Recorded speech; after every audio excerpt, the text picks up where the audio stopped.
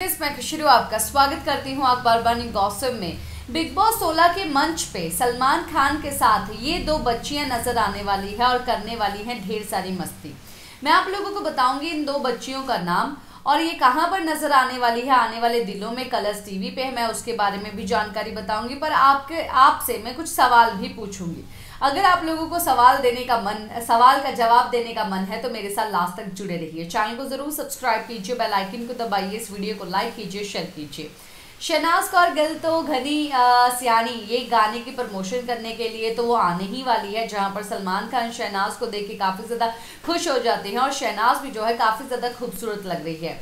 हालाँकि शहनाज को जो है संडे तक उनका एपिसोड जो है दिखाया जाएगा कि टीआरपी और भी ज़्यादा आए, क्योंकि शहनाज आती है तो टीआरपी काफ़ी ज़्यादा आती है।